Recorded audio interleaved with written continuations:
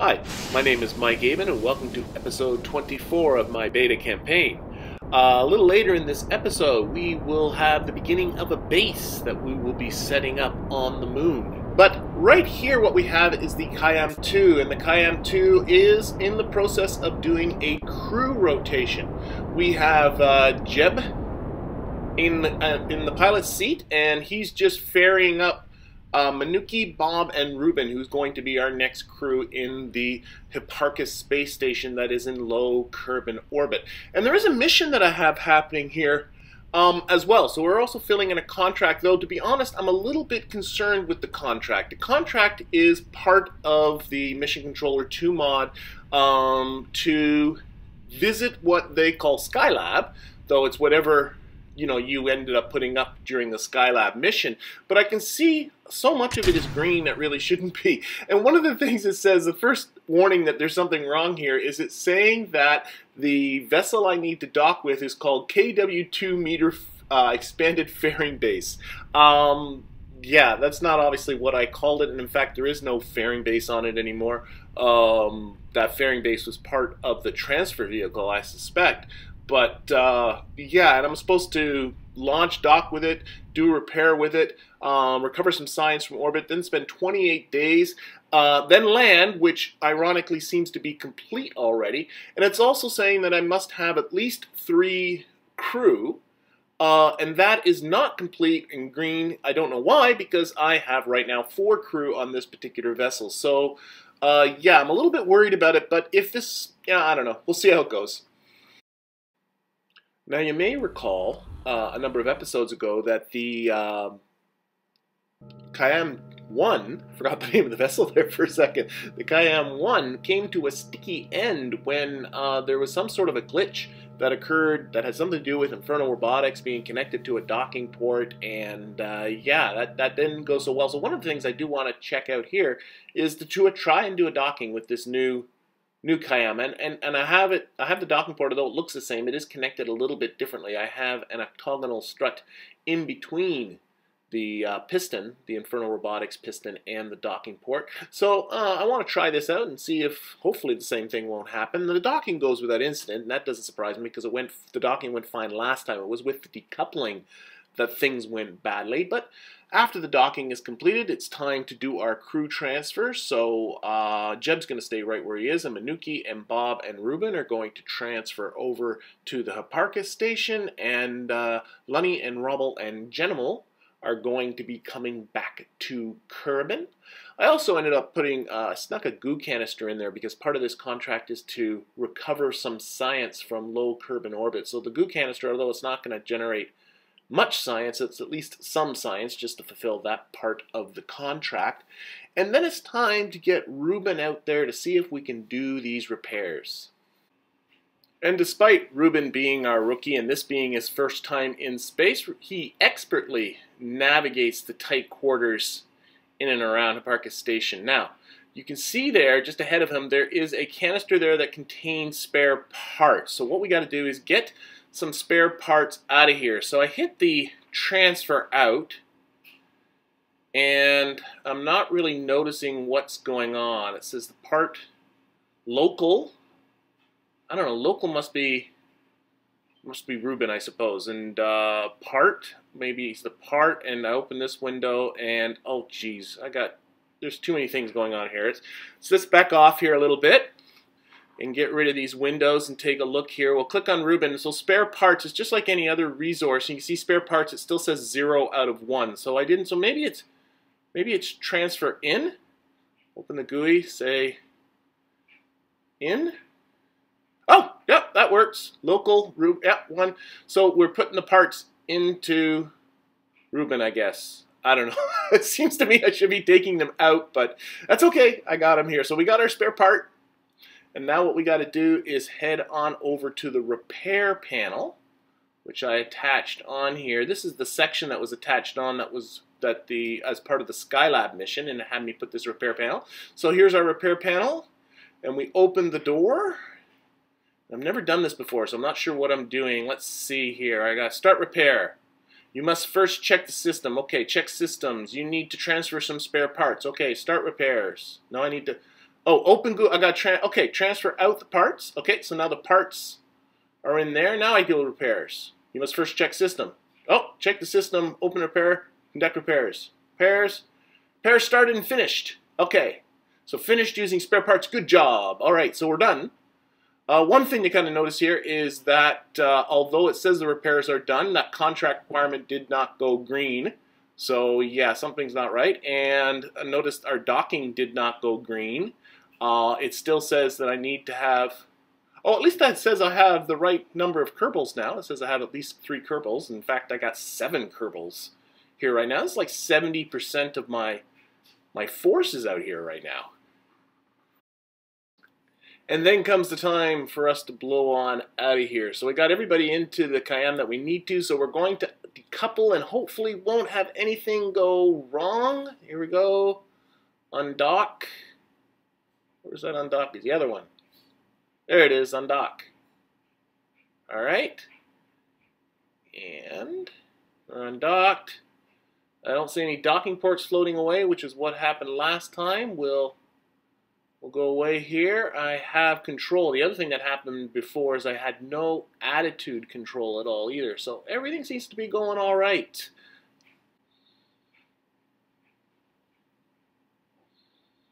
Okay, so all that's left to do now is to retract the docking port.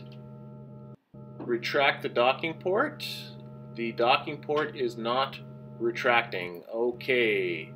Okay, that's not good. Okay, the docking port doesn't want to go down. So yeah, this didn't go without incident.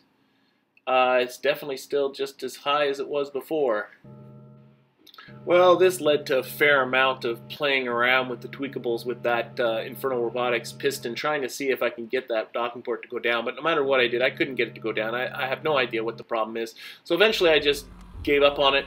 Let's just close these docking bay doors anyway. And yeah, so it's sort of sticking out. Hopefully that won't affect the aerodynamics or anything when uh, we go to do our, our descent. But, uh, well, nothing we can do about that now.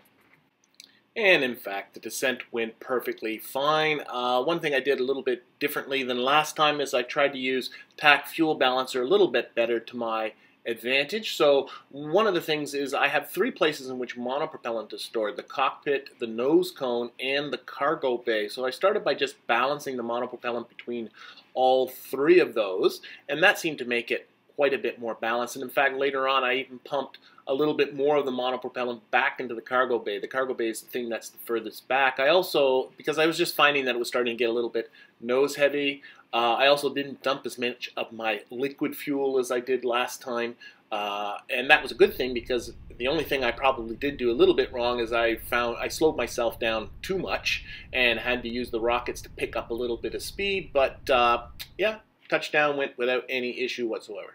And as for that glitched contract, what I did is I set an alarm for the 28 days that I was supposed to wait in orbit to complete the contract. And then once those 28 days are up, um, I'm just going to use the debug menu to give myself that contract.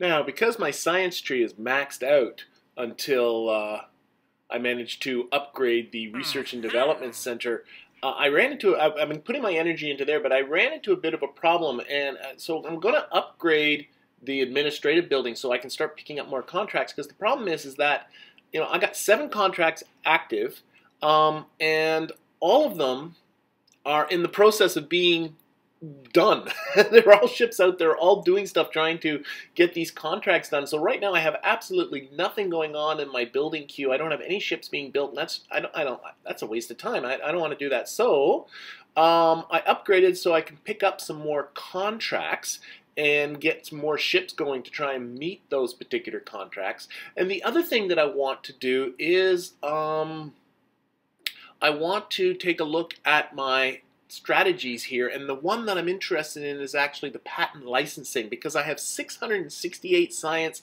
and nothing to do with it. So what I'm going to do is use patent licensing, set it up to 20%, and what that's going to do is take 20% of the science that I earn from now on and convert that as well into funds. And hopefully all this stuff will help me pick up the little bit quicker the 4 million plus that I need to upgrade that research and development center. And that brings us to the moon. And already in orbit around the moon is the Kanata base. Uh, I'm not going to show you the launch and transfer. I've done so many missions to the moons, you don't need to see that. So all I'm going to show you here is the landing. But what I want to do is pick a particular landing part map or spot. And this map here is a Karbonite map uh, using the MapSat mod. This is a the Karbonite map of the moon, and I want to land in the south end of the northwest crater, which is a little bit to the right of center on your screen, near where that anomaly is, somewhere in there. It's it's indicating to me that the Karbonite concentration is relatively high in that location. Uh, I've done a couple of landings on the moon, so I don't think I need to spend a lot of time with it. Now I did get a little bit lazy with the design. This this this vessel's pretty much a carbon copy of the um, the Kanata station that is orbiting the moon right now. The only thing that's different is the antenna array that's at the top. I made it a little bit shorter. I didn't put the big antennas on it and uh, I replaced the Gigantor solar arrays, which were on the Kanata orbiting station, and replaced them with just some smaller solar panels. Um, I also still have those. Uh, well, they're actually the small deployable um, radiators, believe it or not. But uh, and you might be wondering, why do you have those those pretty big radiators on there with just those small solar panels? Well, that's because eventually this thing's going to have to have a nuclear power source because on the moon, with its three day plus night, uh, good luck having batteries last that amount of time. This thing needs to have some form of power other than solar and batteries. So, um, that is why I put these big radiators on there because I'm going to eventually have to put a nuclear reactor down there nearby and get some Kerbals to hook the two together using Kerbal attachment system. And the nuclear reactors generate quite a bit of heat and the heat you can't move it around. You can't control it in the same way as you can other resources. You'll see once I start attaching things together where heat becomes an issue.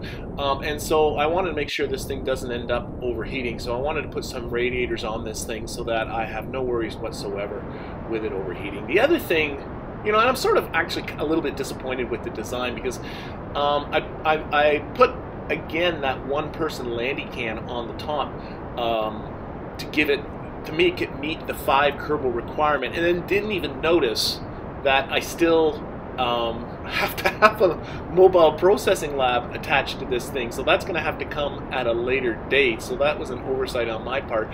And even still, you know, I'd unlocked actually the cupola by this point. That that that one man big windowed thing. And I was like going, oh man, you know, that would have been sweet to have that on the top instead of this, this landing can. It would have looked a little bit better. But oh well, this is what I got now. Now this thing has a ton of fuel. It's still working on just the transfer stage. And I can I could probably land it just with the transfer stage, but obviously that's not going to work. So what I'm doing is I'm using up as much of my energy as I can just from the fuel on the transfer stage uh, so that I don't have to waste it. But then the time comes where I really don't have any choice. I have to ditch it. Uh, but even with that, I still got 600 meters per second of delta V left in the land here, in the base here. Uh, that guy will hit the ground and, and blow up, and I'm going to just sort of move the lander off to one side just a little bit, uh, just so I don't land in the same place wherever where this thing's going to crash. And the reason why um, I put so much delta V on it is because I, you know, I, I, wanted to have the option that if I got down and didn't like my landing spot, that I can, you know, if it was a little bit too much of a slope to it, that I could move it over to a different location. Oh, there goes, there goes the, oh, there's still a piece there. It just took a bounce.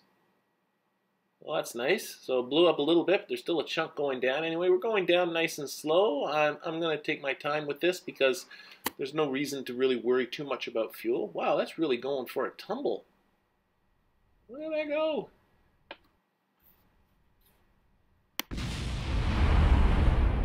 Oh, there goes another explosion. All right, anyway, what do we got? 50 meters, getting close. I can see the lights. Slowing myself down does look pretty flat. Oh, there's my shadow. 20 meters. 10 meters.